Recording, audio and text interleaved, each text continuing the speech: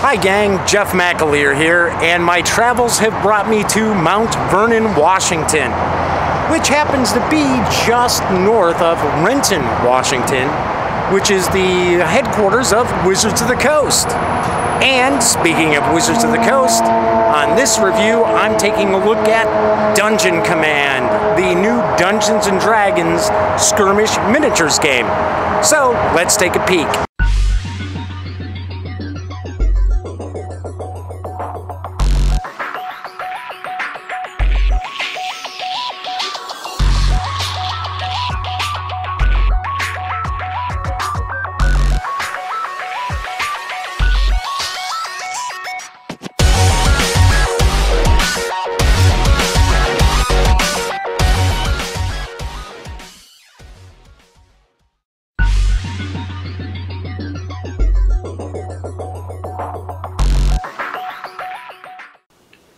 So let's see what we've got in the box for Dungeon Command. And we're going to use Heart of Cormyr as an example. There are three sets that are currently available. Heart of Cormyr, Sting of Lolth, and Tyranny of Goblins. But as an example, let's just take a look at this first set. And we begin with uh, some advertising for D&D. Prepare yourself for the rise of the Underdark. Then we have the rulebook. And the rule book is about 14 pages, I believe. Let's jump back here. 15 pages. And as you can see, it's very lavishly illustrated. Lots of examples of play that are included as well. From reading through the rules, everything is pretty straightforward. There aren't a lot of head scratchers. I think on a couple of occasions I had to stop to uh, just reread an item. Then we have the commander cards, and each set contains two of the commander cards.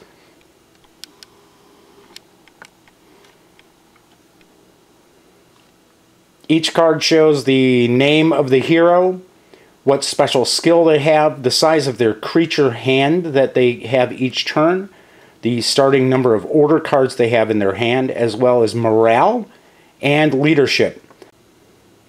There are two ways to win a game of Dungeon Command. One is to reduce your opponent's morale to zero, or your opponent no longer has any creatures on the board. Also, you have leadership. And with leadership, that's the total level of creatures that you can have in play. So we have the two different heroes. We also have terrain tiles. There are large terrain and small terrain tiles, and one's a dungeon setup, the other is a wilderness setup. And there's various different terrain on these tiles as well. So we have two large and two small.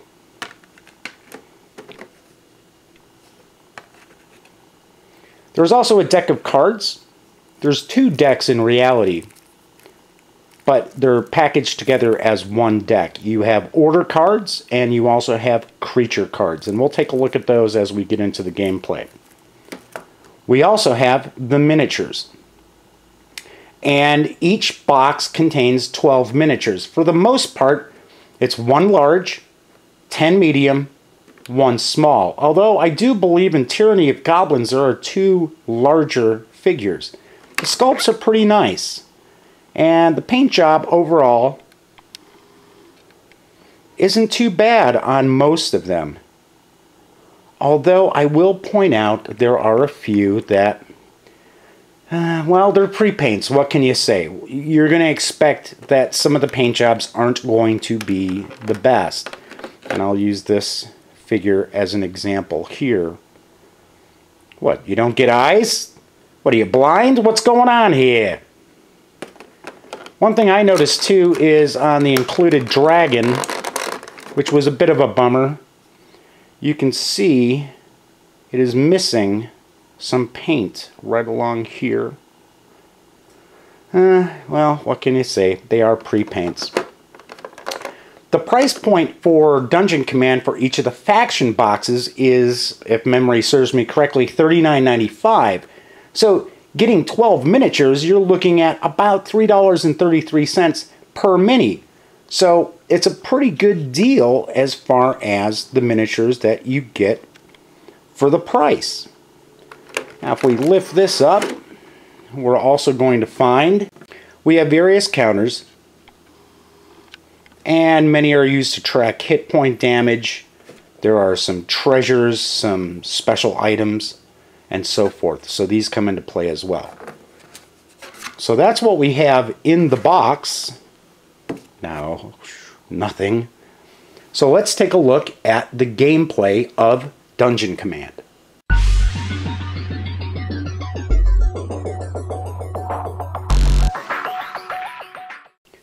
To begin, I've set up using components that are available in the Heart of Cormyr as well as the Sting of Lolth faction packs. And I will point out that this is very convoluted here. Normally, these cards would all be off to the side, but I have kind of included them in just to keep them in frame so we can kind of take a look at all the various different components in action as far as the gameplay. There's two things I'll point out before we get into the actual gameplay of Dungeon Command. And first off, you're going to notice there are no dice. When we were unboxing the game, there are no dice included. This is a diceless D&D game. And I know for a lot of people that almost sounds like blasphemy, but everything is done without dice. It's all card driven as well as uh, standard attacks do a set amount of damage depending on the creature. Something else I wanted to mention is that the miniatures that are included in the game can also be plugged into the other Dungeons and Dragons adventure games like Legend of Drizzt, Castle Ravenloft, and Wrath of Ashardalon. And each faction pack includes some cards. Take a closer look at these that you'll be able to utilize in those adventure games. So, an added bonus for picking up the faction packs. Pretty cool. Although I do have to point out that the reality is you're probably going to see a lot more use from the monsters as opposed to some of the uh, adventurers and so forth in those other games because the monsters come up much more than the NPCs do. Each game will begin with each player choosing a commander, and each of the faction packs come with two commanders. Here we're going to have Valnar Trueblade, the good guy, versus Alessandra Malistros. Hey, it's a guess. Come on, it's a D&D name. Give me a break. With Valnar, his morale starts at 14, his leadership is 7, his beginning creature hand is 3, and his starting order hand is 4. His special skill is versatile, so each adventurer you control can use a standard action to move up to its speed. And we'll take a look at some of the creature cards to show you exactly some of the classifications that they have.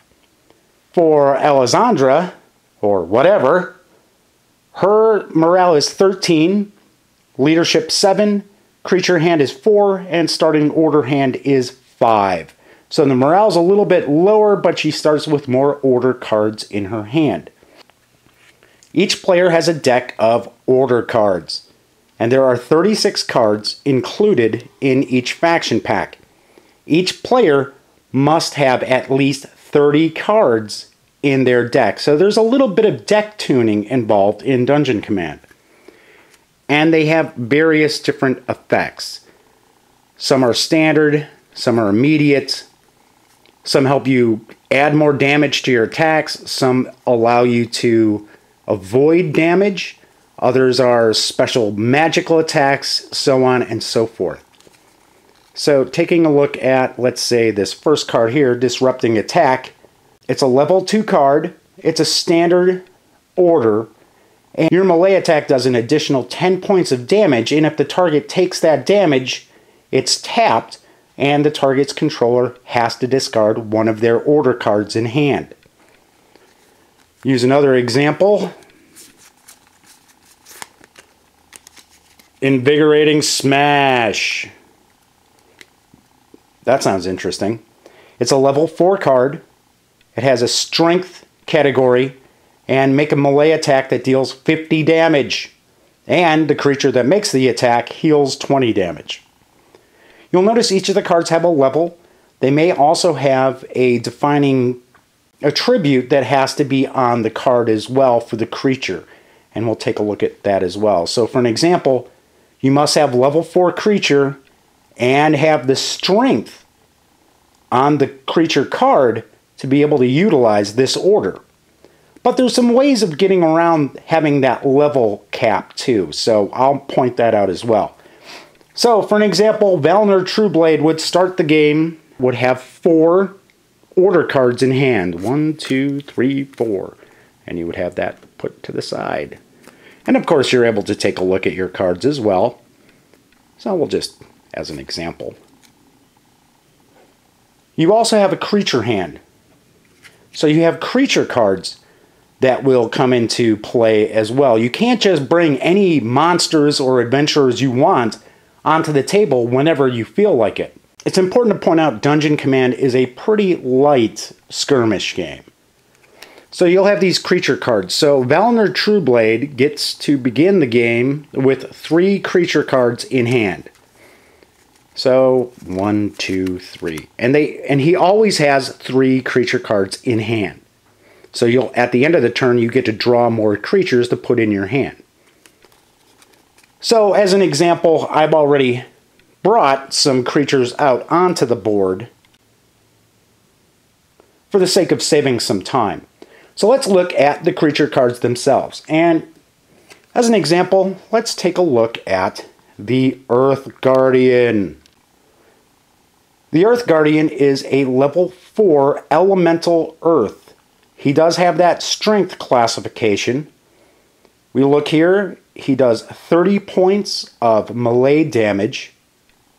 He has two special skills. One is Burrow, which is a method of movement, and the other is Slam. Whenever an adjacent creature takes damage from this creature's attack, slide the damaged creature three squares. We also see he has a speed of 6. And there's also a picture of the model for you, too.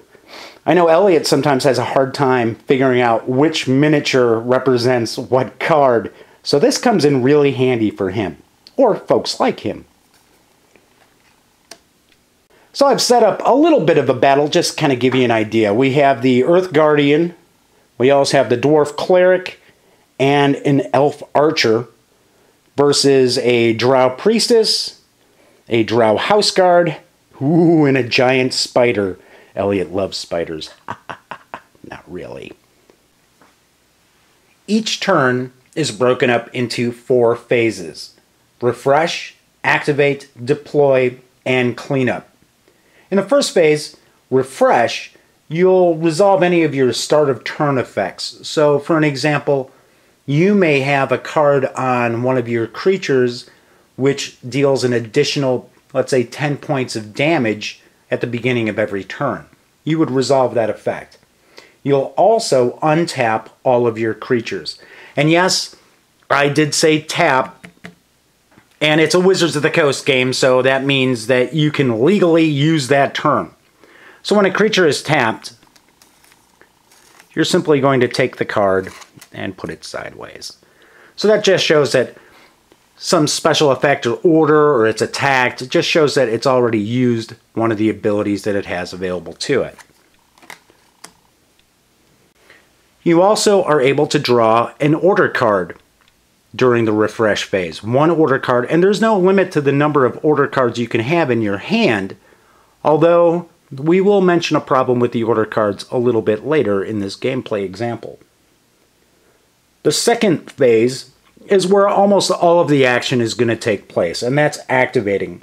You activate all of your creatures one at a time, and you will perform actions, you'll move, you'll attack, and so forth. Then you have the deployment phase, where you're able to bring creatures up to the level of your leadership, the creature card in hand, and the total of the creatures that you would have in play, including that level, is not exceeded. We have cleanup where you'll resolve end of turn effects.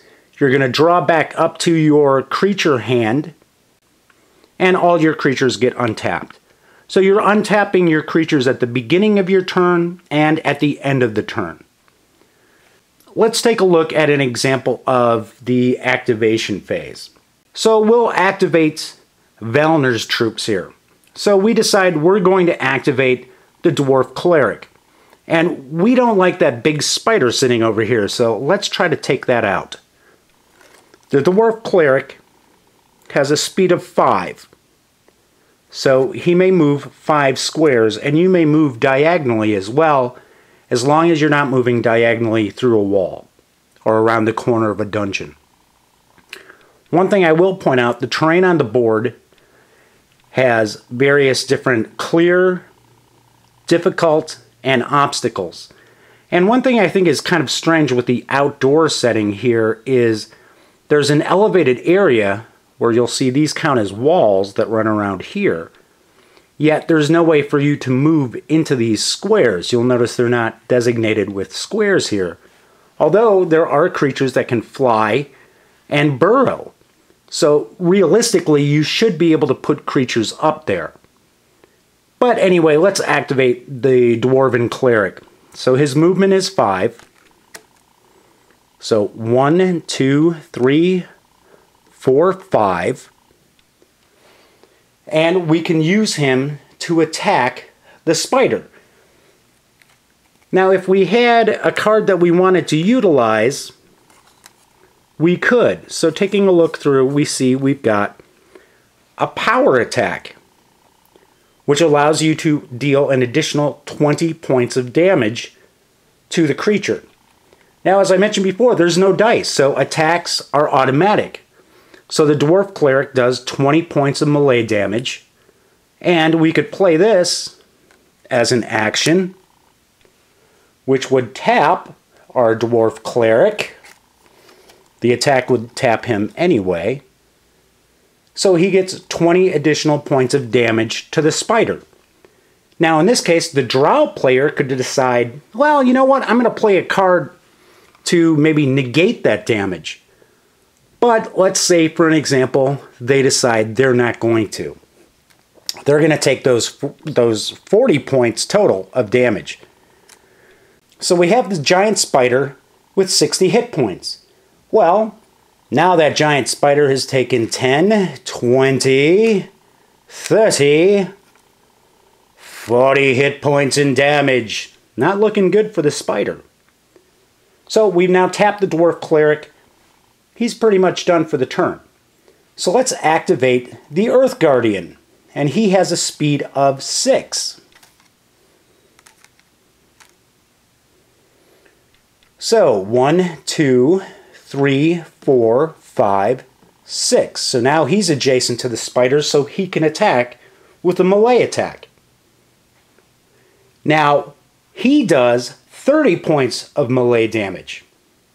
So with that 30 points, he's going to kill the giant spider with his attack.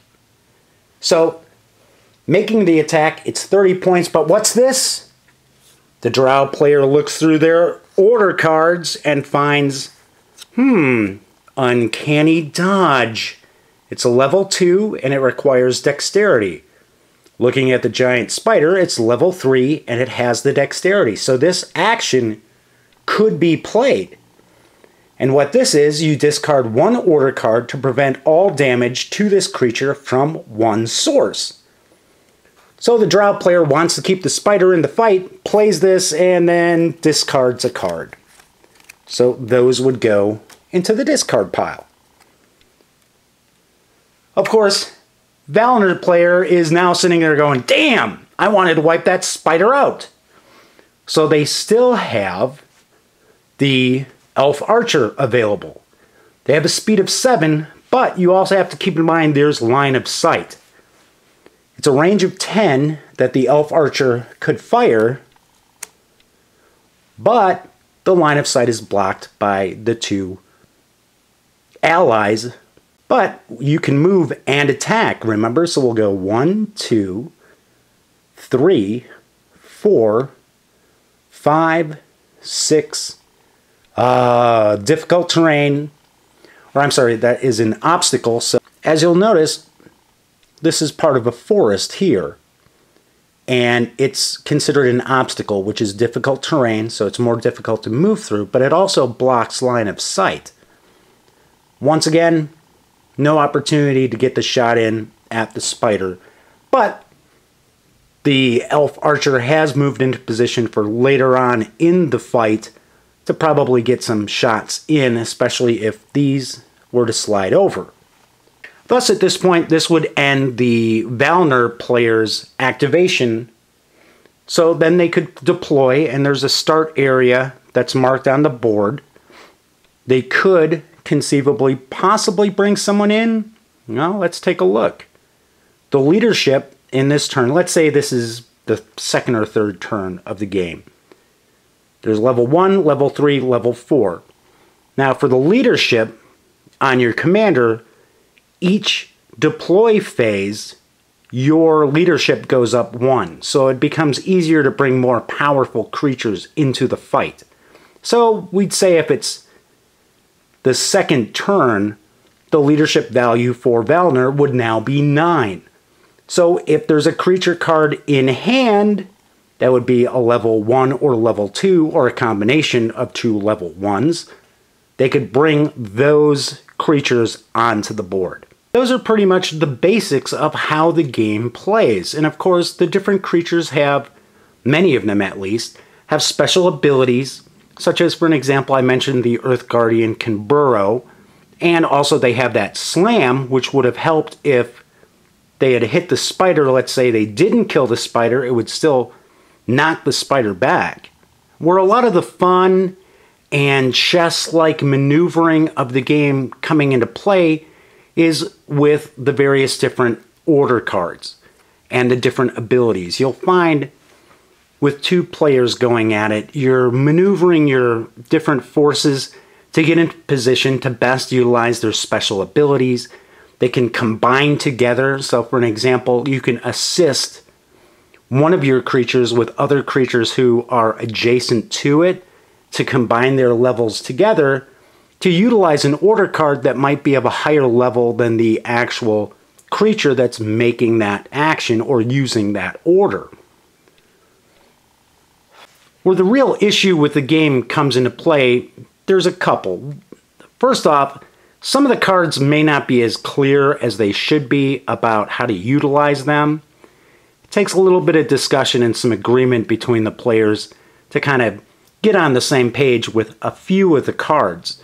But where the problem I see really lies with the game is with these action cards themselves. You only have so many in your hand to start with, and you only draw one card each turn.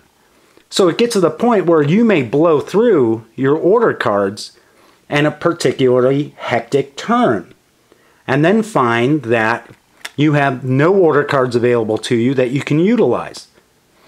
Maybe you draw an order card that affects a creature that's not on the board or that's already been destroyed and it's out of the game. It's kind of a wasted card. So, what eventually takes place as the battle goes on is you find that it becomes a rather repetitive back and forth. The creatures all have standard attacks. So, if the Earth Guardian attacks, he's always going to do 30 points of damage unless the other player utilizes a card that's going to eliminate the damage. There is one effect that can be used with any of the creatures, and it's called cowering. And this can help you keep your monsters and creatures and adventurers in play, because if you decide to cower, for every 10 points of damage that you would be taking from that attack, you can trade off a point of morale. Morale is effectively the currency of the game. So when your morale is zero, game's over. You've lost.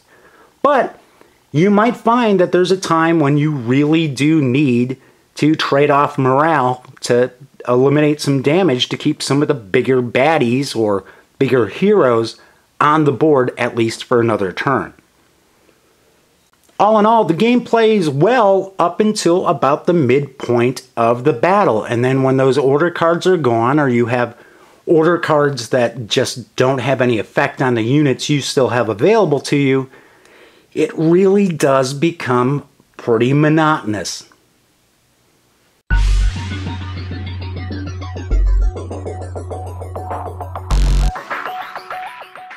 I have a bit of a split decision on the game because, yes, granted, the pre-painted miniatures, the sculpts are nice, but the paint jobs are pretty much par for the course for most pre-painted minis. And as you've already seen, the paint jobs aren't real great and they are missing paint on some of the figures. That said, as I said, the sculpts are nice. And the game plays pretty well up until about the midway point while you're approaching the end game. What begins as a pretty entertaining experiment in fantasy skirmish of maneuvering, almost chess-like, to be able to get your forces in position to best utilize their powers and the action cards that you have in hand, or I should say order cards, soon bogs down in the middle of the action because you run out of those order cards and it just becomes a repetitive back and forth of predetermined damage being dealt out by your units. All in all, for myself, this makes Dungeon Command a pretty mediocre product. It starts out fun, and then just boils down into same old, same old. So I can't see a lot of people getting a lot of play out of it because they'll find battle after battle eventually turns into the same back and forth. This isn't to say that it's completely broken, and I do believe the design team at Wizards of the Coast will be able to address this. And in my written review, I actually mention a couple of things that can be done, one by Wizards and the other by players themselves, to kind of break up that monotony. At the end of the day, if you want to get your hands on some pretty nice sculpts at a very low cost, by all means run out there and pick up some copies of the various faction packs for Dungeon Command. If you're looking for a really entertaining skirmish game in a fantasy setting that's going to be different every time you play, then at this point in time, I would say steer clear of Dungeon Command. That's it for this time around. Be sure to visit us over at thegaminggang.com for the latest in news, reviews, and opinion. And if you're interested in getting the various different faction packs for Dungeon Command, go to wizards.com slash D&D and you'll be able to find the releases there. Once again, thanks for joining me.